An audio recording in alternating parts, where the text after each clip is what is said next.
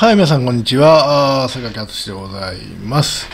えー、11月は4日の月曜日でございまして、えー今日はですね、振り替え休止で日本はマーケット開いてませんね。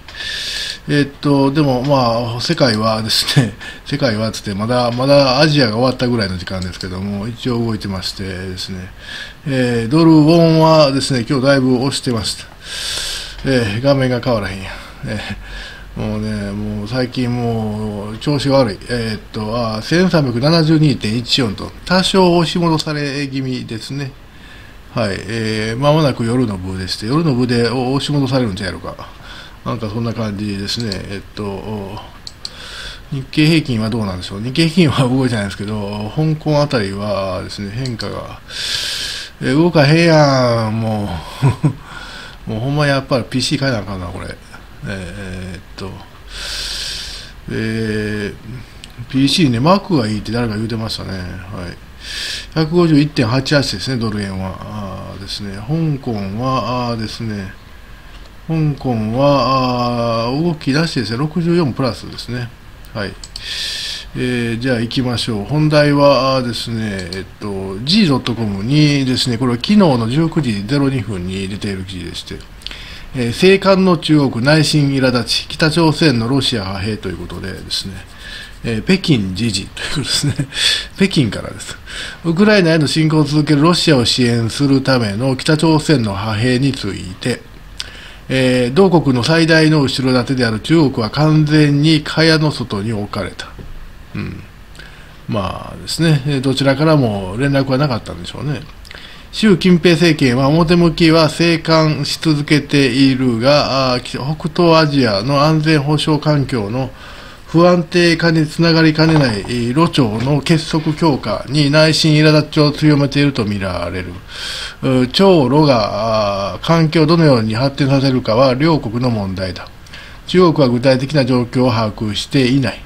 中国外務省の林健副報道局長は1日の記者会見でこう述べ、距離を置く姿勢を強調、北朝鮮の行動に歯止めをかけるため、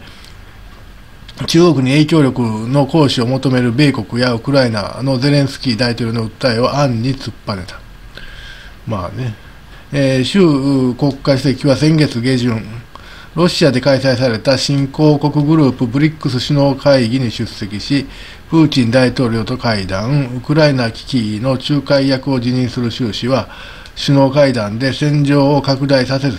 激化させず、各国は火に油を注がないという三原則を主張した。ほぼ同時期に進められた派兵は、その周期、習氏の顔に泥を塗った形だと。まあ、いいから続くんですけどもですね。えっと、昨日もこの件ですね、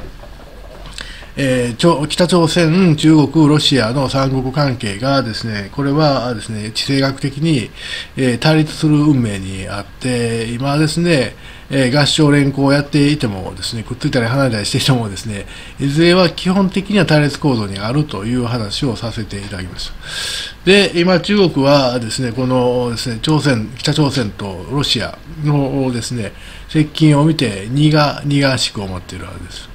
だからさっきも言いましたけども、いきなりですね、韓国をビザなしの国に入れてみたりですね、あの他の国ってね、ほとんどヨーロッパと小国なんですよ。ほぼ中国なんか行かへんやんっていうところの人たちですね。で、と一緒に、要は韓国の、韓国をビザなしにするのが主要な目的だったんですね、あれはね。ビザなし協定とか、ビザなし国の拡大というのはですね、えーいわゆるですね、韓国と仲良くしてみせてですね、北朝鮮の当てつけをしてるんですね。えーつまりですね、中国がですね、北朝鮮のロシアへの派兵をですね、快く思っていない一つの裏返し現象ということですね。で、で、今後どうなるかということですけどもですね、えっと、北朝鮮と中国の間は今かなりこう、冷ややか、冷却してます。まあ、冷戦と言ってもいいかもしれませんね。ただ、どつき合うというところまでは言ってませんので、どつき合い寸前というところではなくて、単に非常に冷たい関係ですね。えーなんでですね、えーそれが続くというふうに思われます。ただし、ただしですね、えここでお伝えします通りですね、習近平はどうやら権力を失ってる様子がわかるんですね。で北朝鮮はそのことについて把握してるかどうかは分かりません。少なくともベトナムは把握してるんですね。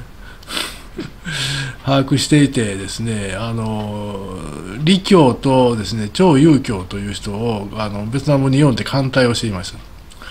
えー、あのやっぱり同じですね共産党の国だけあってなんか分かる分かるものがあるのかそれともベトナムの情報力が優れているのかははちょっと分かりませんけどね。で多分アメリカは分かってるんですね。でも今選挙で忙しいんでこれといった動きはしてません、えー、でですねえー、今後ですねどう、どうなるのかということですけども、習近平がですね権力を失っているのであればですね、あとですね、3年あるんですよ。習近平の任期が。その3年間の任期をお飾りで習近平を置いておくという方針であればですね、外交的にはですね、大きな動きはしないと思います。えー、で今、外交式っていうのは誰なんやということですけど、よう分かりません。あの軍はね、超有強という人が仕切ってるわけですね、行政はもしかしたらですね、立教さんが仕切ってるのかもしれませんけどもですね、じゃあ外交は誰って言って、まあ、まさかあの、あの、あれですね、あの、あいつが仕切ってるとも思えないんですけどね、あの、外務大臣が。えー、っと、名前が出てけ。はい。あいつですね、あいつが仕切ってると、あいつそんなに大物ちゃうんでね、えー、そんな戦略的な考えができそうな人間ではないんでですね、あいつは仕切っていないと思うんですよ。でも僕はでどうなってるのか不思議なんですよ、権力構造が。あの長老たちがですね、長老しか習近平を無力化するという力はないと思うんですよね。えー、で長老が言うあのちゃちゃちゃ超有強を抑えてですね軍を抑えてそこから始まってると思うんですけどね、えー、まあよう分かりません。えー、でその今後、だから中国とロシアの関係がどうなるかというとですねあの習近平がですね力を失っているとすればですね今まで通りということです、うん、変わりません、えー、あのそこで大きな変化は望まないしあの習近平をね、本当無理やりね、権力から引きずり下ろして、ただの人にしてしまって、誰かを代わりに据えるんであれば、それは変わるんですよ。でも、対外的にはですね、習近平はまだ主席のままでいくんであればですね、の変わったら変でしょ。変わったら変で、しかも変えるの大変でしょ。そのそういう複雑な権力構造でですね、その外交方針を変えるっていうのは大変なんで、多分、対外的には変わらないと思うんです。だからこう今のように苦々しく見ているというだけに終わると思いますし、で、えー、習近平はですね、このウクライナとロシアの仲介を従ってたんですけども、多分実権を失ってるんであればですね、そういう派手な動きも今後はできにくいでしょうね。だからせいぜいがですね、会議に出るぐらいのことであって、会議に出て新しいのない原則論を言うておしまいみたいな、そういう形でいくんではないですか。だから当面変わらないというふうに私は思います。はい、えー、ということで、このですね、えー、生還の中国内心苛立つ、苛立ち、北朝鮮のロシア派兵というタイトル、時事 .com ですね、アドレスを貼っておきます。はい、皆さんどうもありがとうございました。